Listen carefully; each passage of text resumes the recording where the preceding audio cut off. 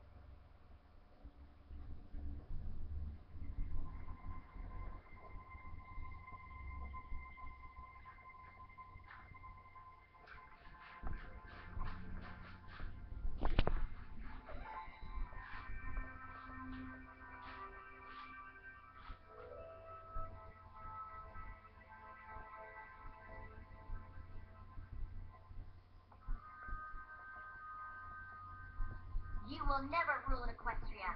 Any power you may have had in this world is gone. Tonight, you've shown everyone who you really are. You've shown them what is in your heart.